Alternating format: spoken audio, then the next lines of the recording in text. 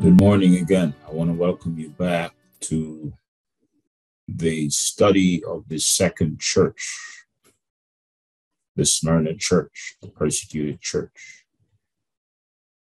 Before we get into that study, let us pray. Heavenly Father, in the name of Jesus, we thank you again for allowing us to be here. We ask you once again, our dear Father, that you will bless each and every one of your children.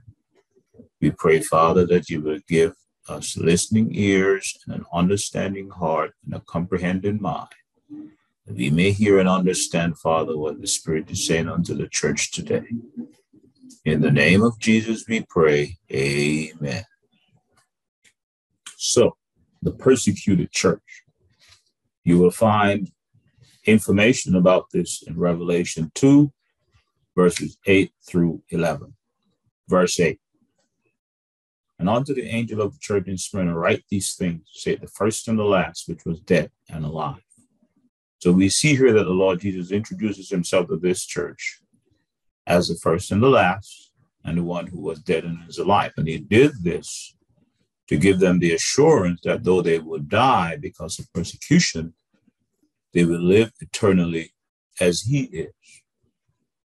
The word Smyrna means myrrh in Greek and it signifies suffering, especially death. It also references a sweet perfume used in embalming bodies. One of the wise men brought Lord Jesus this in Matthew 2:11. The believers in Smyrna were discriminated against. They were poor and they were heavily persecuted. The Lord Jesus has nothing negative to say about them, but he introduces himself here once again as the first and the last, and he that was dead and is alive. Verse 9 I know thy works and tribulation and poverty, but thou art rich. And I know the blasphemy of them which say they are Jews and are not, but are of the synagogue of Satan. So here the Lord commends them for their works it was right in his sight. He also says, I know thy poverty. This word poverty in Greek means great lack. They became very, very poor because they were robbed of their goods during persecution and affliction. This still happens today, and it will happen uh, in the future. In some nations, as soon as a non Christian family accepts the Lord Jesus, the rest of the village ostracized them. They robbed them of their belongings, kicked them out of the village, take their land, their houses, and kick them out on the street. This happened a lot in Eastern nations. This is something that Western Christians really don't know anything about because we have not had such experiences. But I can assure you the days are coming the Lord assured them that he knows their suffering. In Isaiah 63, verse 9, it says that we are not alone in our suffering. It says, in all their affliction, he was afflicted, and the angel of his presence saved them. In his love and in his pity, he redeemed them, and he bare them and carried them all the days of hope. So in our suffering, which will come and is coming, we're not alone. The Lord Jesus is with us. The bishop of this church was burned at the stake. His name was Polycarp. When Saul persecuted the church, Jesus asked him, Why persecute me? Acts 9 4. This church was materialistically poor, but spiritually rich. Proverbs 8 18. When we are materialistically rich, we have no need for God. The poor will seek God because there is scarcity. They are materialistic poor, and so they began to seek the Lord. There were false brethren in the church as well, just like today. Romans 2 28 and 29 teaches us that Paul distinguished between false Jews and, tr- and true Jews. True believers don't just follow a religion, but practices the command of the Lord Jesus. Don't just read them, practice them. For all believers, the Lord Jesus called them belong to the church of Satan. Verse 10 Fear none of those things which thou shalt suffer. Behold, the devil shall cast some of you into prison, that ye may be tried, and ye shall have tribulation ten days. Be thou faithful unto death, and I will give thee a crown of life. Lord Jesus encourages them not to fear suffering because he will be with them. Don't fear. This is similar to the encouragement Paul gave in Corinth, Acts 18 9 and 10. People will attack us, but there will be people to come and comfort. The number 10 signifies trials. Daniel 1 12 and Numbers 14 22. 10 days of tribulation does not literally mean 10 days, but 10 periods of persecution by the Roman emperors over a long period of time. Let's look at some of these emperors. Nero started it in 54 AD, as actually between 54 AD and 68 AD. Domitian, 81 to 96 AD. Trajan, 98 to 117 AD. Marcus Aurelius, 161 to 180 AD.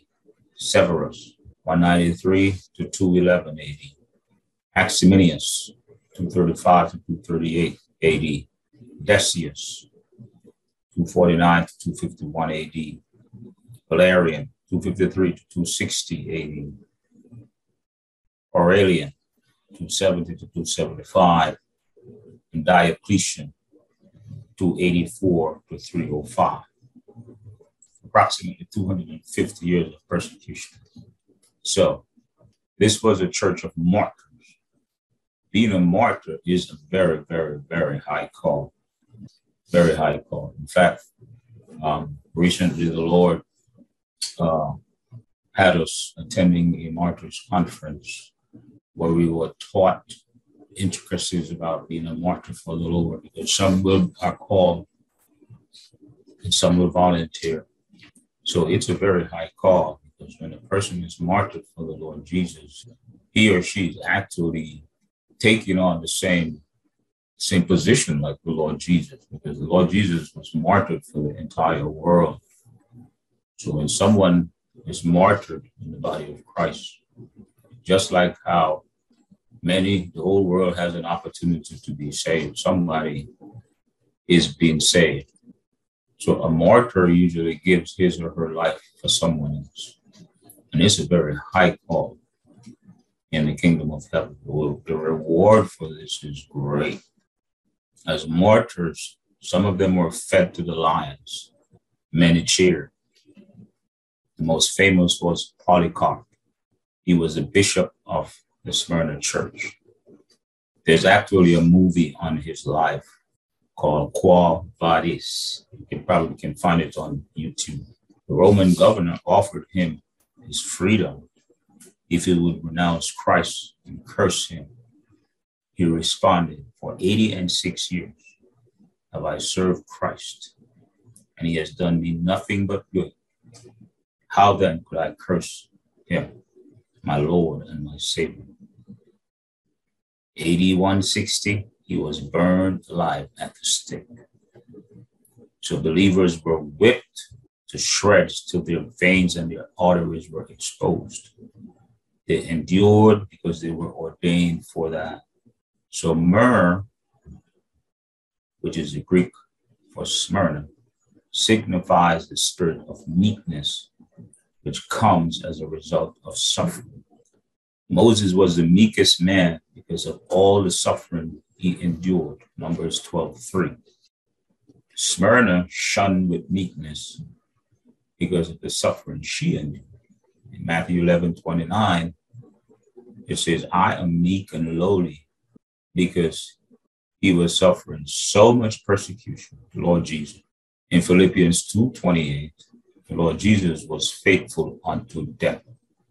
May 22, 2020, the Lord spoke the man of God about persecution. And this is what he said As I was with Polycarp, so will I be with you. Be faithful as I was. I was the first witness or martyr.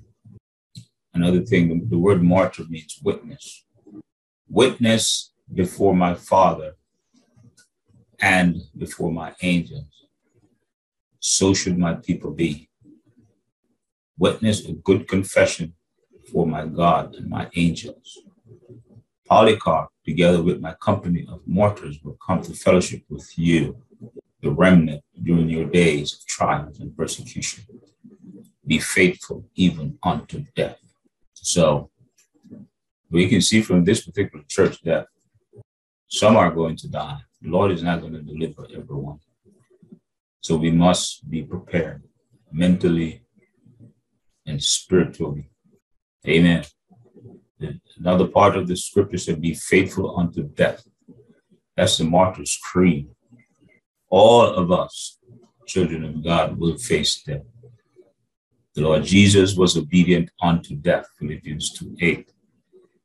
When we refuse to take the mark of the beast, we will be beheaded. Saints and angels will come and strengthen the martyrs. In Luke 22 33, an angel came to strengthen the Lord Jesus. What is the reward? A crown of life. Philippians 2 8. Blessed is the man that endures temptation. When he is tried, he will receive the crown of life. We will be hunted like animals. The woman will be persecuted. Revelation 12. We'll talk about more about the woman when we get to that chapter. Verse 11. He that hath an ear, let him hear what the Spirit saith unto the churches. He that overcometh shall not be hurt of the second death. So overcomers, the overcomer's promise is that he who overcomes shall not be hurt of the second death. Revelation 26, 20, verse 6 says, Blessed and holy is he that hath part in the first resurrection. And such the second death hath no power, but they shall be priests of God and of Christ, and shall reign with him a thousand years. What is the second death? Second death is to be cast in the lake of fire and eternally separated from the Lord. Revelation 21 8. Death and hell will also be cast into the lake of fire. Revelation 20, verse 14. Amen. That brings us to the end of the study of the Smyrna church, the suffering church. So, so far we see there is a church that lost its first love, and there is a church that will go through suffering. And remember, when we talk about the church, we're not just talking about the corporate body, we're talking about each individual person. Amen. So we want to take these studies and examine ourselves to see whether we are ready. Have we left our first love? Number one. And number two, are we ready and willing to suffer for our faith and for the Lord Jesus Christ? The Lord promises that your reward will be great. Amen. So it is time for us now to strengthen ourselves in our, in our faith. I know we see many things going on around the world, and many are surprised, and many are trying to stop what's going on. But that is not what the Lord Jesus is telling us. The Lord Jesus have been warning us since 2019 that we should prepare ourselves because everything that is written in the book will come to pass. Time has come now when we are close to the coming of the Lord. And before the Lord Jesus comes, there are many events that must unveil themselves, unfold and unveil themselves in our world. We should keep on praying. We should encourage one another. We should strengthen our faith and we should be ready. We should make sure we are ready for whatever happens. Amen. Amen. I Thank you for watching. And I will see you in the next video where we will talk about the Pergamos church. The Pergamos church. The church that embraced false doctrine. The church that embraced Babylonianism, Catholicism. That's the next church. God bless you. Until next time. Bye bye.